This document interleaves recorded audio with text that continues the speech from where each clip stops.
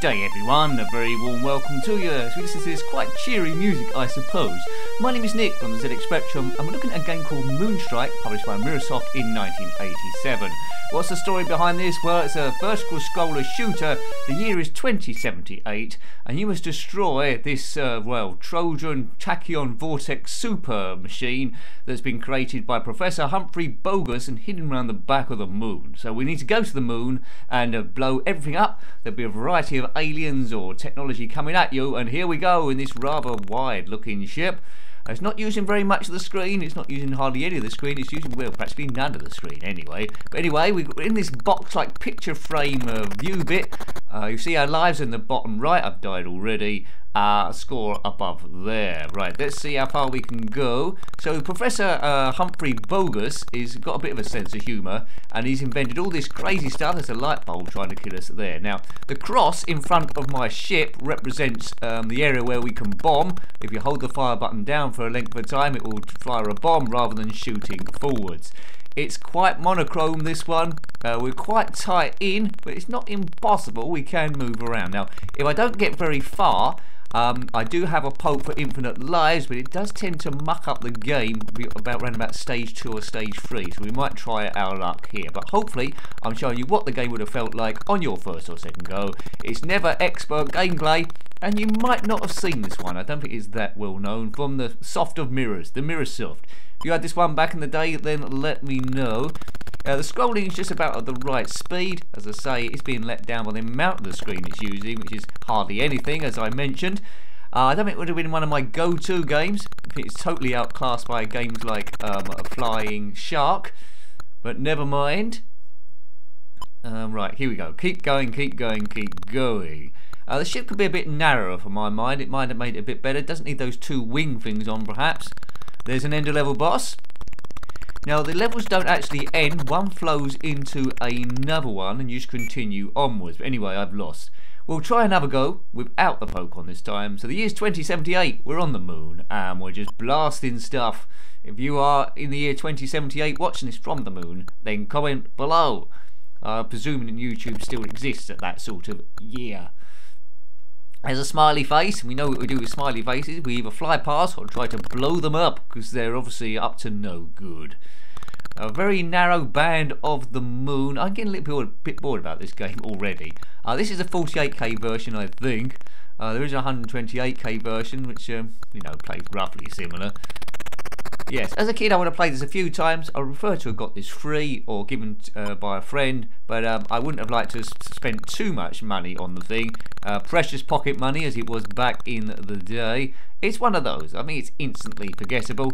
It won't feature many people's top tens, but you know, the graphics are like okay. Got the feel it's been put together a little bit by with a construction kit. The graphics are going to repeat quite a lot, I would have thought, and the fun will be to see what the end of level bosses are going to be like each time. As I say, like a silkworm, uh, silkworm uh, or swiv, um, each level runs into the next one, so it will just continue scrolling upwards until you complete the game, and then no doubt might go back to level 1 again. So let's just try and get off level 1 intact. This will be my last go, then we'll put the poke on, but as I say, I think that it will corrupt the game at a certain level. At least we'll try and see a bit more if we can do. Right, so launch a bomb. Come on, I've got one life left. There it's blown up. Oh, did I survive there? I might have survived there. Yes, that blew up before it got me. So Level 2. Buckle my shoe. I do like that cyan green thing going on. That is probably the nicest bit of the game. Uh, the graphics do look good from the screenshots, I would have thought. Right, let's go. There wasn't a sequel to this game. Mirrorsoft had a, a mixed number of games, which we covered quite a few. 1987, the Commodore Amiga was just getting its very basic games in, and 16-bit in general. So a, this is like the key over that uh, time. I don't know this come out on the Commodore Amiga. I'll have to try and look that up, that one up, but I doubt it. Oof. Uh, I was just thinking like games like Attacks on the Amiga, which is quite an early one, I think, as well. So let's put a poke on. Let's see how far we can get into this thing.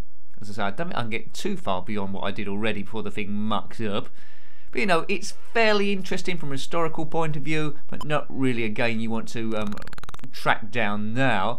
Uh, the, the background's quite busy, there's quite a lot scrolling vertically, and that is an achievement in itself. That's well done.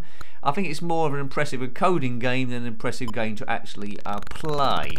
Uh, probably as an adult, you respect it a little bit more for what they've done here. The explosion sounds and the uh, the graphics when things explode, you can appreciate that now. As a kid, that was probably lost on you a little bit. You just want to see how far it played and try and um, absorb yourself into the game as much as possible. There's a light bulb there flying at me. If you are Professor Humphrey Bogus, which started all this thing going, then let me know.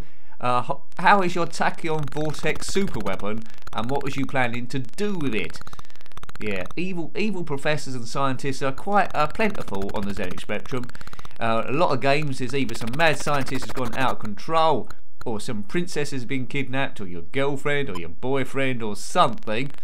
Uh, now we're here to blast. They always send it in a lone ship on its own. Why can't they send an attack fleet? The Earth is really underfunded. They can only ever afford one ship. This Has been sent from NASA or SpaceX? I don't know. In 1987, I don't think SpaceX existed, did it? Elon Musk. Elon Musk for that.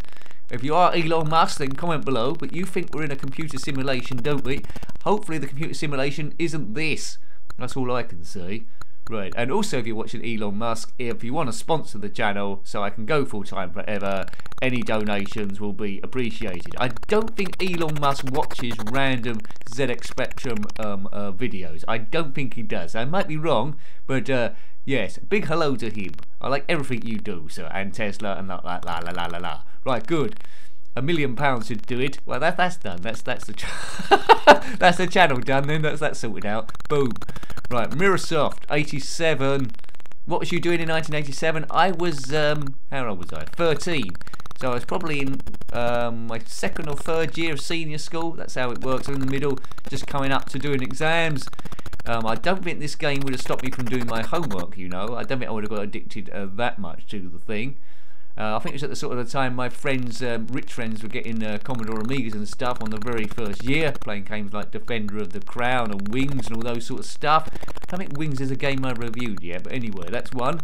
What's this? 20 cents coin. We're going past some like arcade machines now. Right, keep going, keep going and going. That hasn't corrupted yet, so that's good. Maybe I'll get off stage two. We'll see what the end of level boss is on stage two. Keep an eye on the scenery. If you recognise any of these craters, the lunar sea, I don't think it's really actually based on the moon that accurately. It's just the moon, and they've just done rough graphics. It's a white moon, it's not a grey moon, ZX Spectrum can't do grey, but it does put white and black next to each other. Stage 2, continue, continue. Infinite lives now, if you if you weren't paying attention. Uh, There's a vibrant moon, isn't it, there? He's got space. This is what the moon will look like in 2078, I suppose. I think it's getting... Yeah, that's it. It's corrupting. The game is corrupting. Corrupting alert. It's not drawing the background properly. Oh, dearie me. It's all going silly. So if you was playing the game properly, you wouldn't see this actual corruption. It's just a poke I put in as caused this. It's got me to a certain point, and now it's gone a bit, little bit, a little bit pointless. But anyway, Moonstrike. A lot of games with the word moon on it, so it might be hard to find this. Moon Defense, Moon Alert. Put your favourite moon game below. It's frozen. We don't have to reset the thing. Right, away we go again. I put in a slightly different poke here. I had two alternative pokes for um, Infinite Lives. We'll see if this one corrupts it as well. I'm suspecting that it does. It's unfair to cheaters, but this is giving you a little bit of an idea whether you want to play the game. As I say, if you've got a spare couple of moments, I would say, yeah, track it down. I downloaded it for Spectrum Computing. If you push for time, then don't bother. If you've got a lot of other games to play, then don't worry. This is purely historical from a museum point of view. So a big thank you to all the subscribers who've subscribed to the channel. If you haven't already and you've watched this far into the video, please consider doing so because that helps me continue. But what really helps me continue is the members. So thank you, members. A massive, massive help to you. Quite a lot of work always going on uh, behind the scenes. You might not always notice, but it is. Keep this thing going. Uh, I work as well. Uh, wish I didn't have to, but there you go. So thank you. You're keeping me going, folks. It's it's a big planning operation. A big planning operation. Right. It's a channel that puts out full-time content on somehow part-time hours available. Boom. Moonstrike. Uh, I wouldn't mind a, a, remake of this one. It's didn't corrupt and it's got a bigger screen and it's the, the, the background's coloured in. I wouldn't mind that. Stage one. Right, this will be definitely be my last go, so we'll either get to level 3 or the thing will go wrong again. Stuff firing at you is quite slow, like a lot of these uh, ZX Spectrum games that go for the monochrome. Sometimes it's a little bit hard to see what's firing at you when it's like white on white or yellow on yellow. A lot of them favoured the, the yellow colours. Flying Shark is a prime, prime example, but do check out the review of Flying Shark if you're unaware of that game. Uh, much, much better than this. Uh, also 1942 and 1943, move a little bit quicker as well. But the, the good things about this game is is the level of detail in the background and the smoothness, although it jerks occasionally, the smoothness of the background when there's a lot going on, and it just doesn't slow down either. So that is quite clever in that respect. Yes, I, I don't think I could have sat down and uh, coded a game uh, like this. There we go, a bit of machine code involved as well, I'd imagine. Boom! As, a kid, I was a bit naive about things are programmed. I just thought they typed every single thing in, and that's why my typing games didn't come anywhere close. I thought wasn't that good. But it's all about machine code, which I knew nothing about then, and I really know nothing about it now. Well, what creates machine code? Some kind of assembler or something. Makes everything load quicker and run quicker. Have you've seen the review of Zosnia's um, Lava 2021 we done um, quite recently? Uh, you'll see that, that that is heavily sped up on the original game because they got better assemblers. Boof. Right, is this the bit where it's going to start uh, uh, crashing now? Going past these tank things. Kaboom! Great stuff. Yeah, there's quite a lot of ZX Spectrum games reviewed on the channel. Click check on the playlist or even have a, maybe a crafty type and search within the channel itself. Uh, you might find a game that you, you played back in the day. I keep discovering gems. We ain't going to run out of games anytime uh, uh, soon. Uh, thousands and thousands and thousands of games. Right, okay. So thank you to people that recommend games, but I really, I really can't take any more recommendations at the moment. The list is is way, way, way too big. So, but thank you, but no, no more, please, no more. Boom. Right, okay. And it's corrupted again. It's corrupted. The whole thing's corrupted big style. Yes. Uh, so I, I suppose it's going to freeze in a minute, is it? Like it did last time? But it's an alright game. Moonstrike. It's an alright game without being sensational, I suppose. Acceptable for the time. 87, maybe a bit late. If it was a few years earlier, it might have got a bit more play. But anyway, it's it's very average, this game, uh, but clever backgrounds. So I hope you liked having a look at that one. That was Moonstrike on ZX Spectrum, published by Mirrorsoft in 1987. Got any comments about this game, similar games, or anything retro, then please put that below. You're always more than more than welcome. Until next time, take great care of yourself and are very fond. Goodbye. Goodbye.